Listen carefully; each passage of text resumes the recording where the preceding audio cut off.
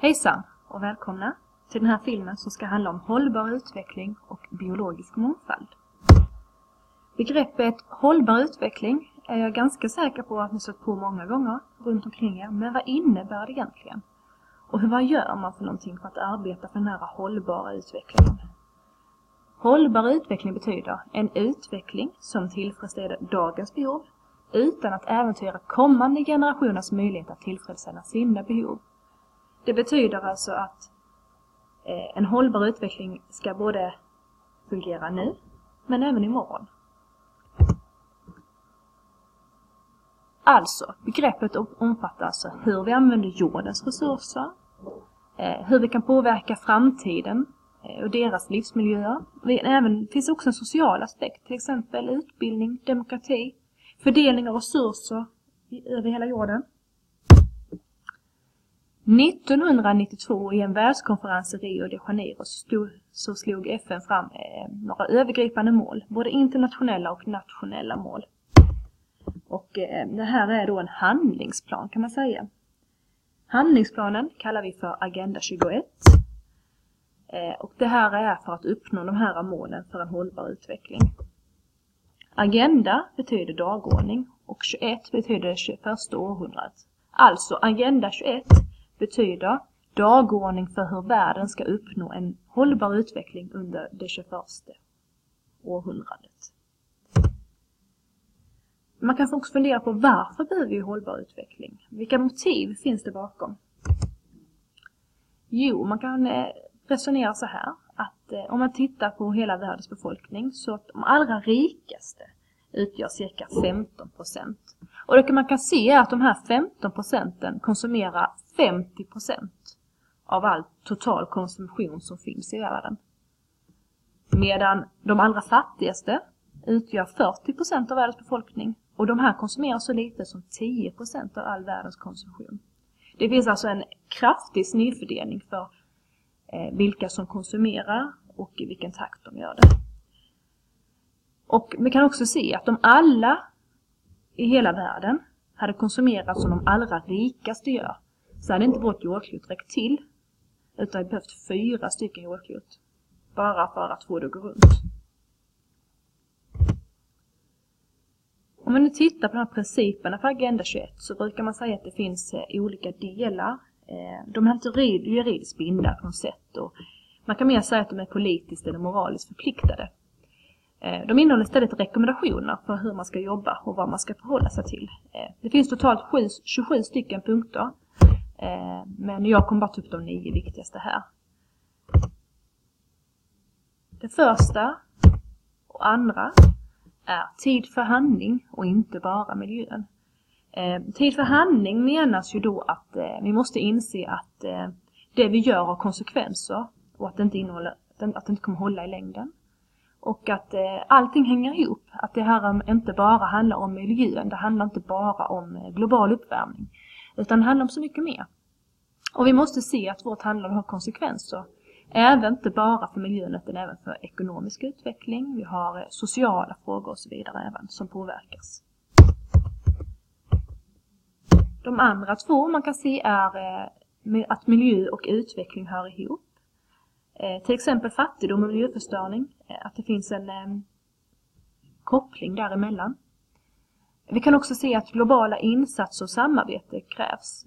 Det finns inte en ensam nation som kan lösa hela det hållbara tänket för hela världen, utan vi behöver göra globala insatser. Eftersom att miljöproblemet är globalt kan man inte heller bara jobba lokalt utan det krävs också ett globalt samarbete med ett samarbete länder emellan. Vi får också se att eh,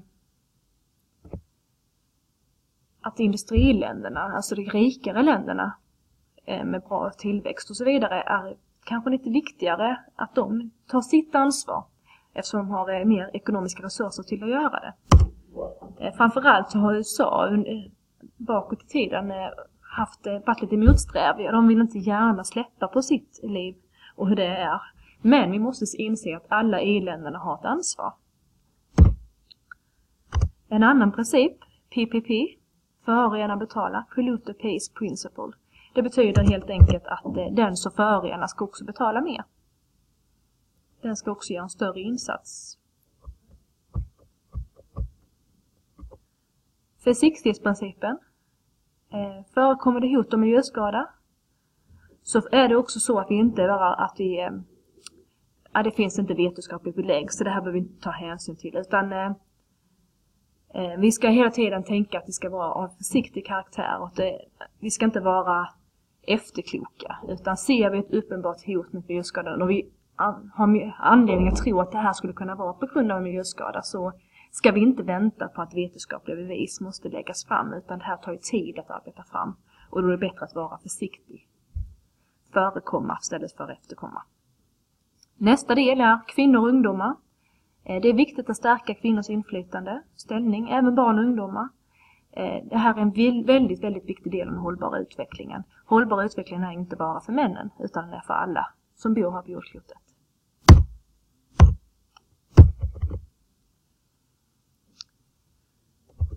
Eh, lokal förankring, sista, Eh, det är att alla kommuner ska skriva en egen lokal Agenda 21. Det ska finnas en kommunplan för hur man ska jobba med hållbar utveckling. Lite frågor till er som ni kan fundera på och ta med er till lektionen är hur tycker ni att vi arbetar med hållbar utveckling? Finns det medvetenhet? Eh, och vet ni någonting som du som privatperson kan göra för att bidra till en hållbar utveckling? Så de här tre frågorna, fundera på dem. Ta med dem så kan vi diskutera dem på lektionen. Eh, andra delen av den här föreläsningen ska handla om biologisk mångfald som hör ihop på mångt och mycket med den hållbara utvecklingen. Eh, vi kan se att den biologiska mångfalden förändras hela tiden och det gör det naturligt. Men vi kan också se att det finns utrotningsvågor. Framförallt har man sett att minst fem stycken utrotningsvågor har eh, skett. Den senaste var ju på dinosauriernas tid. Mm. Men det man kan se nu är att vi kanske kommer in i eh, en annan typ av sväng. Men den är av en helt annan eh, karaktär, den liknar inte det vi har sett innan. Och framförallt har det att göra med att det finns en enda art, nämligen människan, som är den som är den starkaste drivande kraften för utrotningen. Och att det sker i en stor hastighet. Vi gräver alltså vår egen grav. Eh, vi kan också se att den här mänskliga aktiviteten som finns och som fortgår absolut. Utrota arter i säkert 100 till 1000 gånger snabbare takt än vad som är naturligt. Biologisk mångfald igen. Eh, ett annat ord för biologisk mångfald är biodiversitet. Och det betyder egentligen en variation ibland levande organismer och ekosystem. Så det handlar inte bara om antal arter eller antal individer. Utan man kan dela in det på tre nivåer. Den första nivån är den genetiska variationen inom maten. Att det finns genetisk variation inom maten. Eh, på nästa nivå kan man se att det ska finnas en mångfald av olika arter. Och ska man titta på en ännu större bild så kan man se en mångfald av ekosystem, alltså av olika typer av miljöer och hur de ser ut. Alla de här tre är eh, exempel på en biodiversitet, men på olika nivåer. Och varför ska vi nu behålla den här, eh, bevara den här biologiska diversiteten? Det finns ju flera olika skäl. Bland annat så finns det ett skäl vi kallar för de materiella och ekonomiska skälen. Det är ju viktigt för människans överlevnad.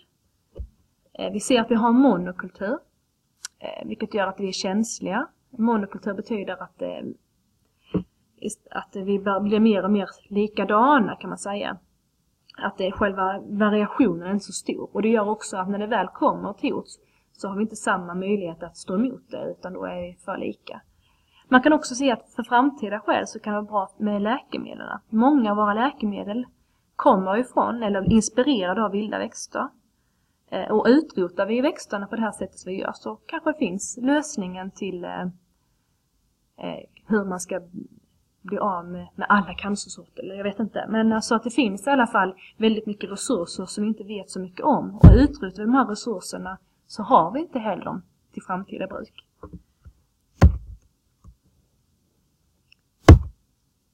Nästa skäl kan vara av etiska eller moraliska skäl. Eh, nämligen att vi har faktiskt ingen rätt att utrota. Vi är faktiskt en del av naturen och inte härskar över den. och att alla levande organismer har lika rätt att leva. Det sista jag tänkte ta upp är av estetiska eller kulturella skäl. Eh, vi sätter ju faktiskt stort värde på naturen. Vi är, många människor tycker om att gå ut i naturen för den här eh, för se skönheten och inspirationen och eh, upplevelsen. Genom att vi stör våra ekosystem och våra arter så kommer också alltså naturens skönhet kanske inte bestå på samma sätt. Vårt liv blir också helt enkelt bara fattigare om vi inte har eh, växter och djur i den utsträckningen. Så här är alltså två varianter, eller för två sätt att se varför en estetisk eller kulturellt skäl skulle vara för att bevara den biologiska mångfalden. Det var allt för idag. Tack för att du tittade.